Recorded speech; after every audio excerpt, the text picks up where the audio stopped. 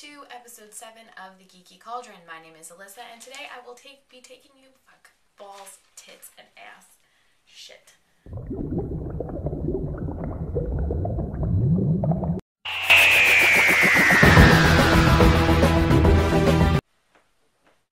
Hello, and welcome to episode 7 of the Geeky Cauldron. My name is Alyssa, and today I will be taking you on a journey to the center of the TARDIS. This episode was written by Steve Thompson, and his last episode that he wrote, The Curse of the Black Spot, um, a lot of people didn't really like. Uh, they thought it was kind of crappy. I thought it was like meh. By the way, my bed is not made because some diva decided to stay in bed late today. You try moving a pit bull off of a blanket. She's 45 pounds of dead weight right now, so I'm not even gonna bother. Obviously, there was a lot to talk about in this episode, as you can tell from the front and back four page notes I took on it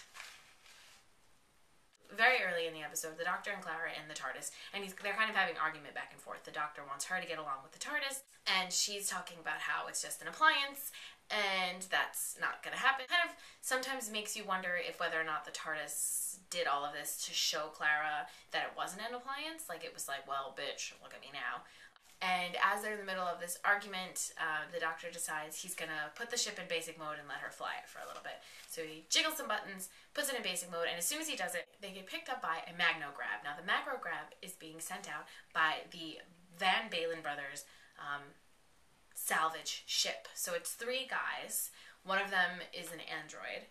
Um, he has like a barcode on his neck and like crazy eyes. And two brothers, and they are salvage guys, and they basically look for trash and pick it up and hope that it's worth a lot of money.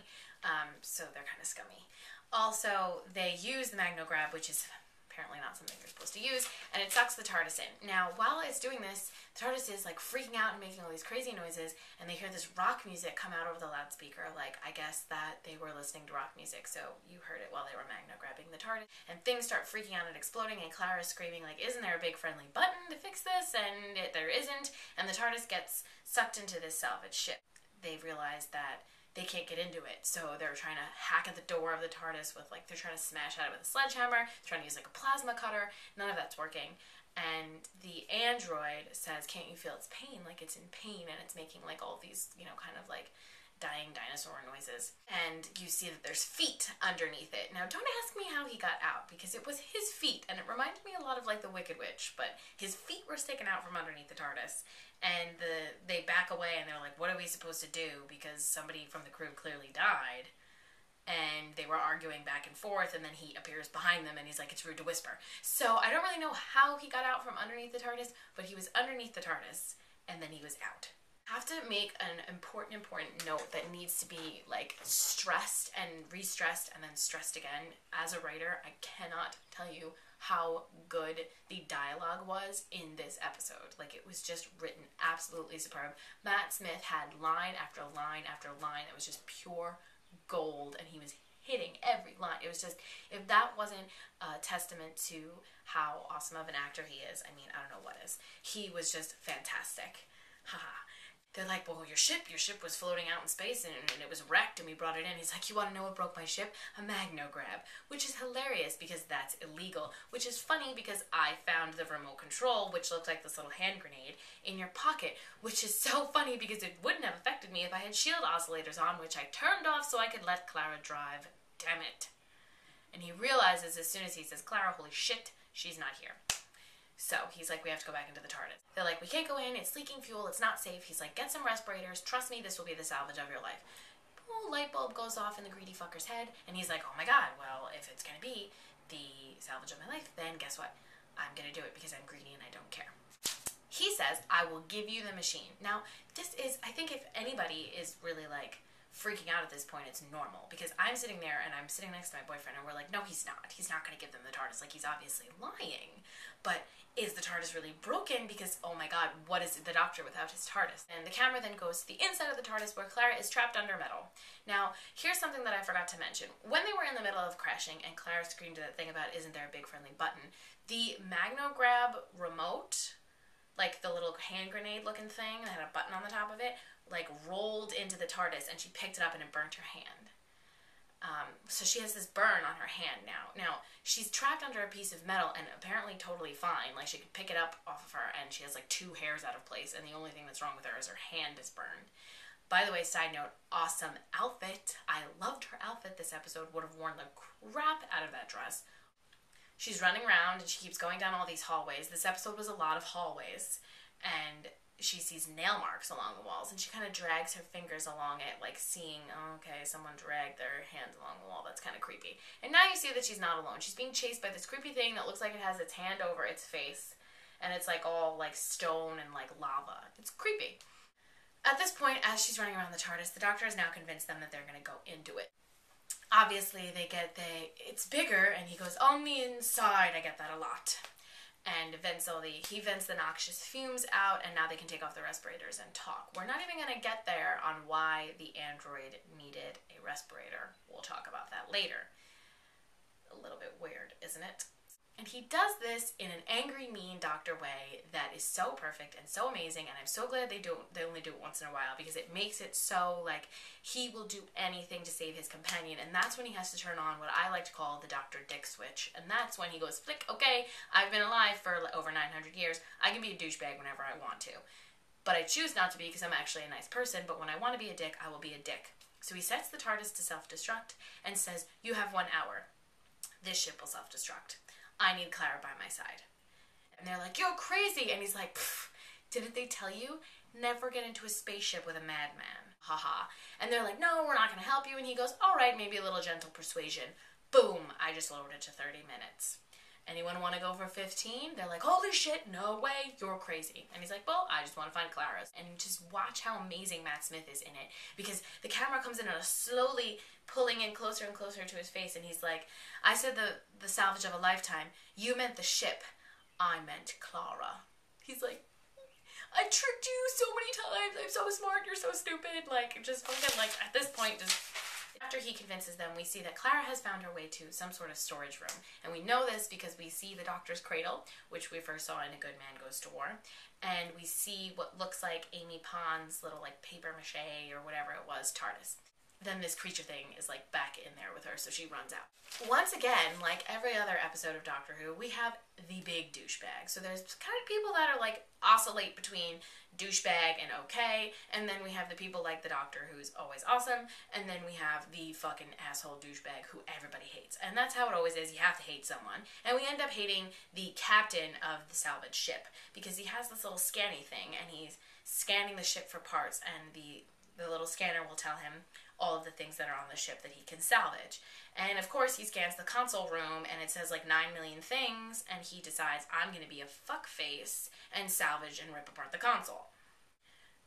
Doctor warns them don't touch anything because she'll get huffy if you touch. And of course, they don't listen. He scans the room and he comes running to the doctor and says, Oh my god, like we should separate, it makes more sense. And then he sends his brother back to go rip apart the console of the TARDIS and you start hearing uh, voices. And one of them, if you listen carefully, is Susan from the first episode ever of Doctor Who An Unearthly Child. And she's explaining what TARDIS stands for and what it means. There's a bunch of other voices mixed in there. Apparently, the voices were from Rose, so the first Eccleston episode.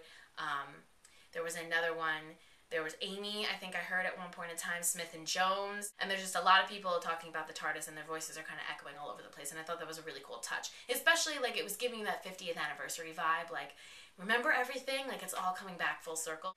Uh, the other dickhead guy finds the most beautiful room I've ever seen in my life, which is like this big giant tree with all these really long hanging branches with these orbs, these glowing orbs hanging off the bottom of them that have circular Gallifreyan written all over them.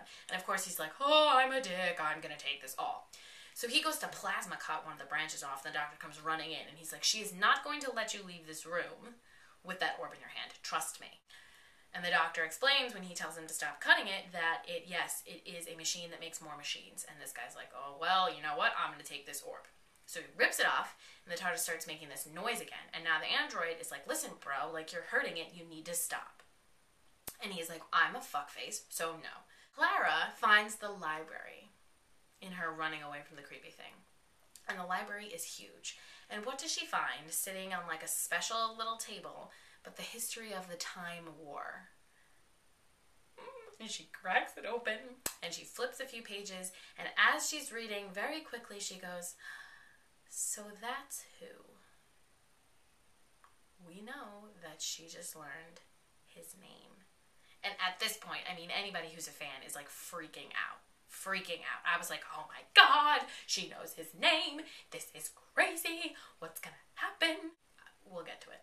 Another cool thing I noticed was the encyclopedias of Gallifrey are all actual words that look like bubbles stored in um, little vials. And she after she reads the doctor's name, hears the creature again and hides behind a bookshelf that has all the encyclopedias on it and knocks one of them over. I mean, I guess at this point in time, she lost like 500 years of history because she knocked over a bottle, all the things started spilling out and making noise, and because the creature heard it, she like waved it away. So at that point, I guess this like eradicated like 500 plus years of fucking Gallifreyan history, but whatever, I guess it's not a big deal. The creature runs past her, and she's in the clear again for a couple of minutes, so we're allowed to go check back in on the doctor and everyone, including the douchebag guy who has now ripped the orb off, and the TARDIS, being a fucking genius, has decided to make a complete labyrinth. They keep running out of this side and coming back in this side and running out this side and coming back this side, and it's just a big, endless circle. You know, smart bunch Time Lords. No dress sense, dreadful hats, but smart. I literally love when he's mean. And I wrote in my notes right here, I love when he's mean, followed by what's wrong with his posture. So if that doesn't like tell you how preoccupied I was with the way Matt Smith stands, I mean it's perfect because like he would have like spina bifida, like the doctor would stand funny, but it's just it's just a cool like thing. I like that he does that. I'm sure his back doesn't like it, but I like it.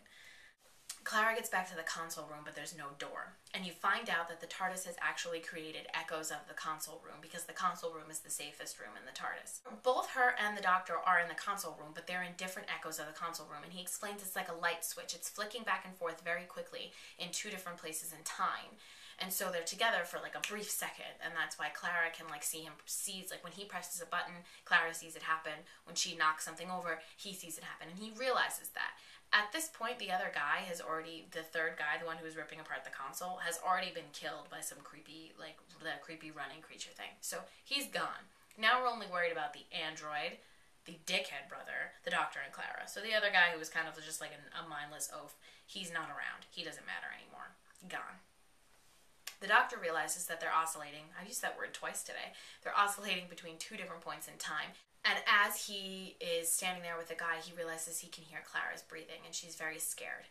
And she's scared because the thing has now chased her into the console room. And now they're kind of doing a little like ring around the rosy around the console. Um, she stops for a second and they kind of look at each other and they both turn their heads and she's like, Who are you? And there's something, some sort of weird recognition or understanding between the two of them. It corners her and she is this close to getting the bye byes and the doctor uses his sonic to, I guess, like bring her back to the right time. And as she's standing there screaming, he grabs her hand. Like he, she's like shimmering in and out. He grabs her hand and pulls her into the right time. So she punches the crap out of him, and he's like, "Listen, we'll talk about this later." Because she's like, "What the hell? Why do you have zombies on your on your ship? Like good guys don't have zombies. Like that's basic storytelling 101. Like no, what are you doing?" By the way, that whole self destruct thing, that was a joke. I just wiggled a bunch of buttons around, and that wasn't really the case. Sorry. He's like, and I did the voice. You have to do the voice. And now, here again, you see Matt Smith's amazing acting because he's being all goofy. He's happy that he has Clara back. He can kind of get back into the way he really is, which is this really jocular, silly, like, easily distracted child thing. Man child. And he says, you know, you have to do the voice. And he gets up really close to them and he's like, find her or we all die. And you're like, yes. The engine's not overheating. Nothing is wrong with it. I see, I just, I can turn the countdown off as quickly as I turned it on. And he goes to do it and he sees that, okay, the engine is actually overheating. And here, I'm going to post a picture right now.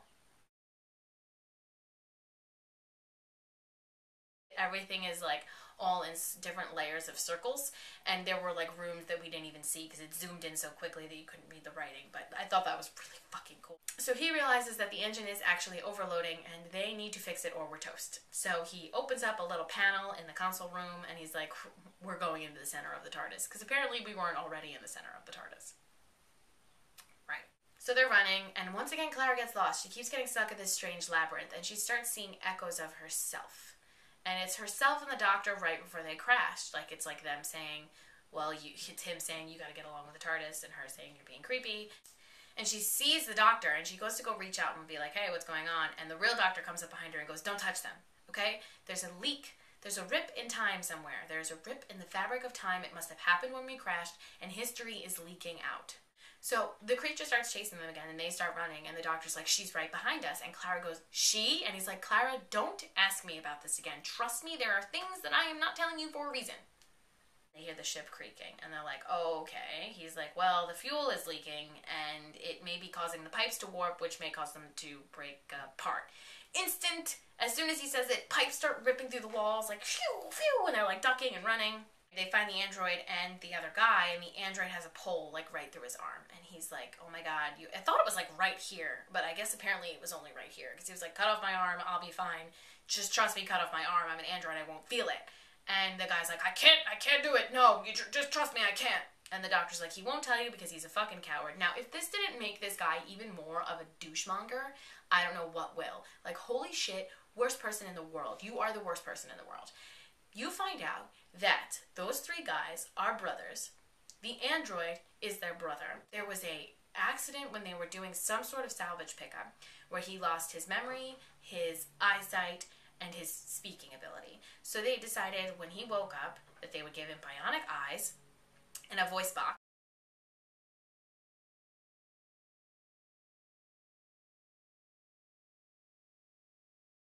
Him into this room, which is a big bridge, and he's like, You can't be in this room for more than two minutes or your skin will melt off, and that would suck. And he's like, Okay, we're all gonna go through to the other side. And as he walks through, he's like, This is the power source. It's a exploding star in the act of becoming a black hole. You rip the star out of the, you know, out of space, suspend it in a state of permanent decay, and use its power to power the TARDIS. So, like, we're learning such cool things about how the TARDIS works, things that we've never known before. And I thought that was really awesome. So, they're on this bridge, right? And there's doors on either side, and it's this fiery, bright place. These creatures start coming at them from both sides. So she starts freaking out. She's like, if we're gonna die in here, you're gonna tell me. I don't want any more secrets. And he's like, secrets are meant to keep you safe. And she's like, we're not safe. And as she's yelling at him, he's scanning this thing, and it's like, it's like status identified human, status unknown, unknown, unknown, and they're calling it Lancashire. Now, right before they went into the room, he had the thingy pointed at Clara, and it said Lancashire, and she didn't even think twice about it. She just looked at him like, whatever. There's a certain point in time when the doctor is being chased by two of these creatures, and they're connected together, and he says, "I'm sorry." To them, so he knows something that's going on with him, but he's not saying anything happening. And this is really where he says things to Clara that we've been waiting for him to say to her for a very long time. And so he the scanner's going off and it finally says status identified human, status identified Clara. And Clara looks at him and was like, That's me? Like the thingy on the other side that was banging on the wall, that's me? And let me just take a quick second to say, I told you so. I said it in my last episode, and I'm going to show you right now. Look what I said. A preview of like some creepy black figure like standing behind her and with these red ass eyes and it looked like her like her body type like it was her shape. It looked like like jenna louise coleman like in a creepy monster suit. See? I was right. I was absolutely right. I knew it was clara. I knew it was meant to be her. I knew it. Anyway he said the past isn't the only thing that's leaking out. It's the future. I brought you here to keep you safe, but it happened again. You died again. And she's like, Again? I died again? And as she's saying that, he's like, wait, wait, wait, wait, wait. If I disrupt the timeline, then this isn't going to happen. He's like, make sure you don't touch each other, because if you touch each other, you're going to reassert the timeline. And he says that to the two guys. And of course, these things are now breaking in, and they throw one over the side. And as they throw one over the side, the the android, which isn't really an android, flips over the side too, and his brother, who had no redeemable quality until this point, helped him. And when they touched each other, they turned into those creatures. And then Clara and the doctor run away into the engine room. And when they come out on the other side, they're on a cliff. And the cliff is like a very big cliff. And there's nowhere they can go. It's huge. It's like an outdoor cliff. And she's like, Do you have a plan? And he's like, No. And she's like, Well, if you don't have a plan, we're going to die here then. And he's and he goes, Well, maybe. So if that's the case, tell me who you are. I, I know you, you. You know who I am. And he's like, What are you? Some sort of a trick? A trap? I met you. And he tells her, I met you when you were on the space station and you saved me from the Daleks. You died. I met you back in Victorian whatever. And you died and it was because of me. And she's like, I'm scared scared of you. I have no idea what you're talking about. She almost falls off the edge of the cliff, backing away from him. And he's like, oh my God, you don't have any idea. You're Clara. So now we at least know that she isn't malevolent intentionally, which I think we kind of all knew because Jenna Louise Coleman just looks like too adorable to be like evil. I do not see evil coming from her. And I think like it didn't really give us much because we we I had a feeling that if she was some sort of weapon to be used against him, she wouldn't know it. We got we got that that actual conflict, which I never thought we would get. And they actually get into the engine room because he realizes that the gap, this this big giant edge of a cliff that you see, is really just the TARDIS snarling at them like a wounded animal who's hurt. Like I'm gonna snarl so you get away from me. And so he gets into the engine room and he sees that the engine. First of all, it looked so cool. It was all white with like cogs and things everywhere, and he sees that the engine has actually exploded it, and she wrapped her hands around the explosion to suspend it in time for a little bit. He, he's like, she's been there for me through everything, taking care of me, and, and now uh, it's my turn to take care of her, and I, and I don't know what to do. And, you know, this point in time, I'm sitting there going, is this fucking it? Is the TARDIS done? Is, is that really gonna happen? Of course not because Clara grabs his hand and he feels her hand and he feels this burn, this burn which is keeps she keeps looking at and keeps showing and it says backwards on her hand big friendly button and he starts hysterically laughing, drags her back to the console room, gets the little Magno grab remote control. He starts, takes his Sonic and you see he's like writing in it. And he's like, okay, well, I've obviously thrown this through the time rift before because there's no way that that remote ended up on their ship the remote that was on the salvage ship had to be in their ship for some reason. It was in their ship because the doctor put it in his pocket when he took it from them when he first crashed. Through that, through the rift in time, and wrote it on her hand, wrote it on the thing so that he would realize it's the big friendly button. So all he has to do is hit that, and then the magnograb won't happen. It'll turn magnograb off, and it'll be fine.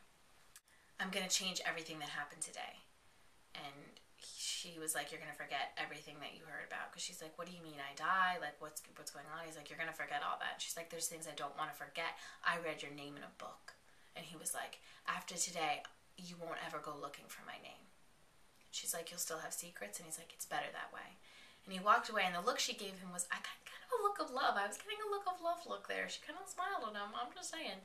Now, the only thing that was really frustrating was we kind of got that conflict between Clara and the doctor, and it was a very big tease because even though she found out his name, and even though she found out that he's met her before in other forms and she's died, um, him eradicating that day means she forgot everything.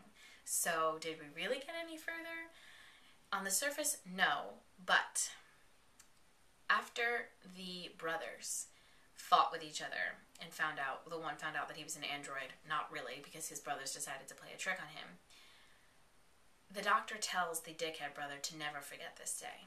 They show after he fixes everything, the, the brothers on the ship. And the third brother, the android, is being made fun of by the big Ophi one. And the other brother is like, leave him alone. Maybe I have a shred of decency left. And you're like, well, if he remembered that, who's to say Clara won't remember the doctor's name? So, although initially I was like, well, fuck this, they did all of this for no reason, nothing happened, we still kind of have that opportunity for it to have happened. And we know that the season finale is called The Name of the Doctor, and she found it out, so. This was a great episode. I don't care what anybody says. Um, I understand Doctor Who episodes are standalone episodes, and just like what with what happened with um, you know in the fields of Trenzalore and that whole silence thing, those things took place in little snippets over episodes and then they built into this bigger picture. And i think that's what they're doing here. You know i think we found out the name for a reason. I think clara found out what was going on with her for a reason.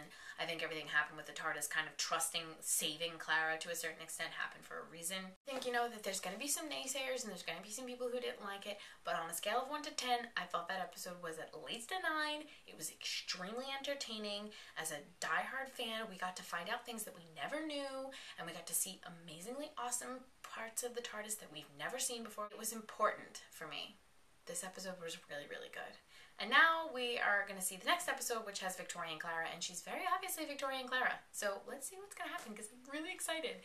Moffat has also said in an interview that the Doctor has not met Clara three times; he's met her more than that. So I don't, I don't know if that means he's met her in other forms. I don't know if that means like according to his timeline he will meet her again maybe that's what this Victorian episode is about, but I know that there's there's a lot more going on than we will ever think, and he said there's a secret that no one has ever guessed that he's heard of. So, oh, Moffat, I'm very excited. I love this episode. I now am going to go watch Game of Thrones. So, I will talk to you guys later. Enjoy it, subscribe, comment, rate. She's going to keep sleeping. Bye.